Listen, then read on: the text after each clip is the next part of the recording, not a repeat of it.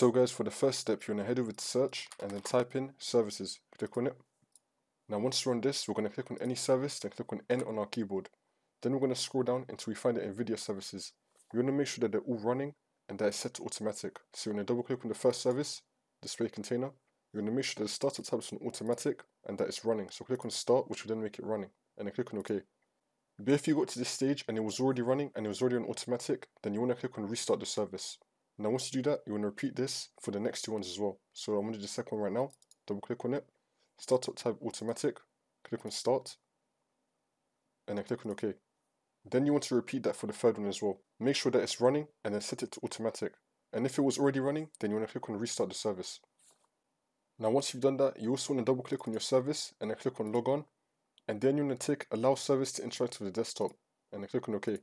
Do that for all of them as well. Now for the second step, I'm going to leave a link for GeForce Experience in the description. You just want to head over to this website, then you just want to download it again. Then you want to install it. Then you want to open up GeForce Experience and then click on the drivers tab and then click on check for updates. Make sure the graphics and drivers are fully up to date. Now you want to restart your computer and then the problem should be fixed.